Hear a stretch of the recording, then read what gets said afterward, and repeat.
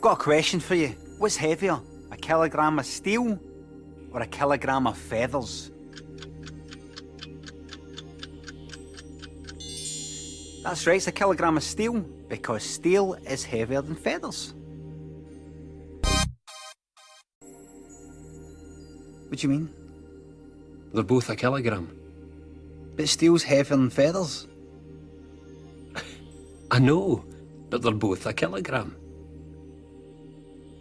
What? It doesn't prove anything. Steel's heavier than feathers. I know, but look, they're both a kilogram, right? So they're the same. I wouldn't want to look at the size of this. That's cheating. No, they're the same no, weight. it's a kilogram. But steel's heavier than feathers. Paul gonna tell them. They're right. They're both a kilogram. Oh no, no you are not. What is it you don't get?